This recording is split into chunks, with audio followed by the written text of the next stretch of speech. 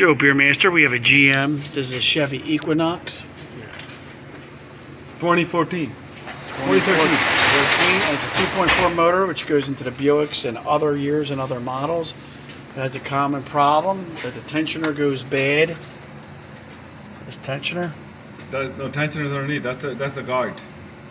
That's the guard. Let me get the light on here. The tensioner goes bad, which And the is chain stretches. You see how loose it is?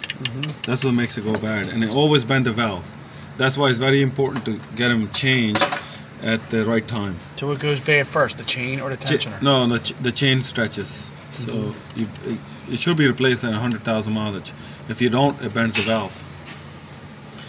So you have to. What do you have to do on this? Uh, well, now we got to pull the head and fix the valves.